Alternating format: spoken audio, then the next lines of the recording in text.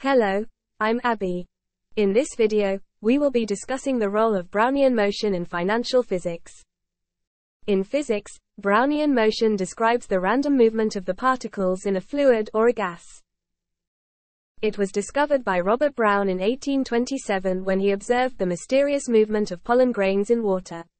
The random motion of the pollen was explained to be due to knocking by individual molecules in the water, with the cumulative effect enough to move the grains around, despite them being 10,000 times larger than the water molecules. It serves as one of the fundamental studies in physics, aiding the proof of the existence and movement of atoms and molecules. This concept has been used beyond physics, into the world of finance, where it has been used to model the random movement of stock price which evolves continuously over time, and to describe how financial markets behave.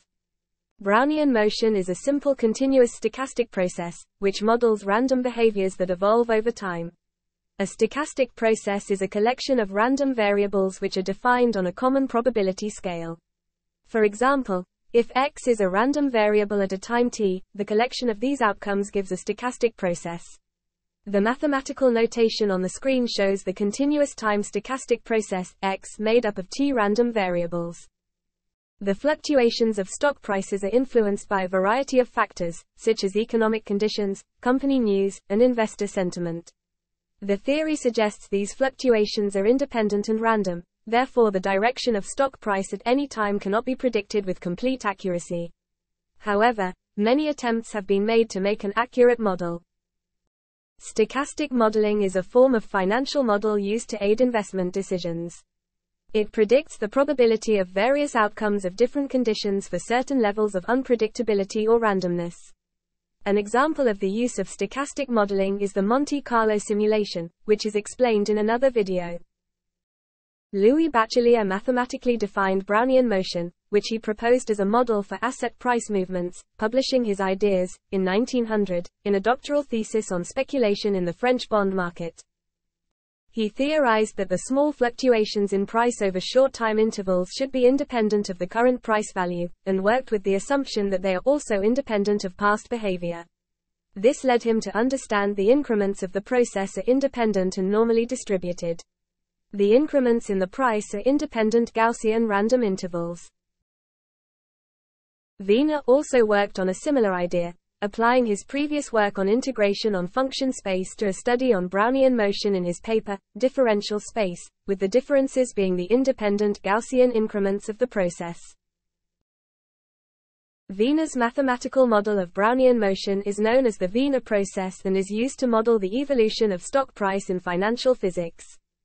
He worked with the assumption that the change in stock price over small time intervals is proportional to the current stock price and is a normally distributed random variable with mean zero and a standard deviation proportional to the square root of the time interval. For any fixed time t, the probability of differentiability is zero. The axioms of Brownian motion are as follows. Number 1. Brownian motion has independent increments. This means that as time proceeds, each increment is independent of the others. So, for the times r, s and t, the increment from times r to s is independent of that from s to t. Number 2. Brownian motion has stationary increments.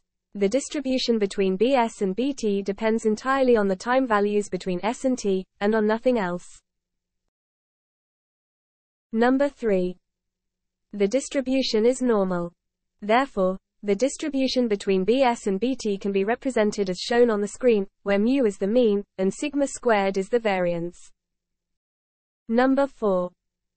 Brownian motion has continuous sample paths. It will always be continuous at any time, so there are no jumps or discontinuities. Distribution follows the form on screen, with the standard normal distribution having mean 0 and a variance of 1.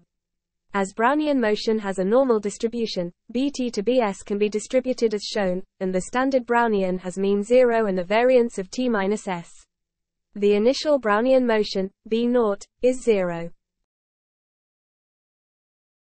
In the next video, we will look at explaining these fluctuations in the price in further detail, considering the model of random walk.